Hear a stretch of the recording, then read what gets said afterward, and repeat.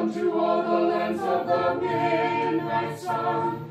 For with the light of the gospel thou didst enlighten me and taught to accept in thy words, and whom thou didst teach in godly manner, and didst adorn their human customs.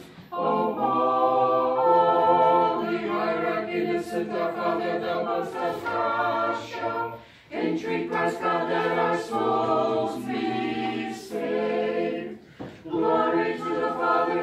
Son, to the Holy Spirit.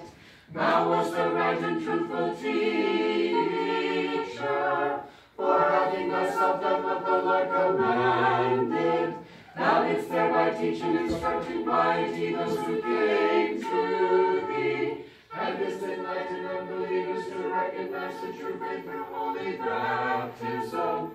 O holy hierarch, Innocent our Father, thou host of Russia, with the apostles,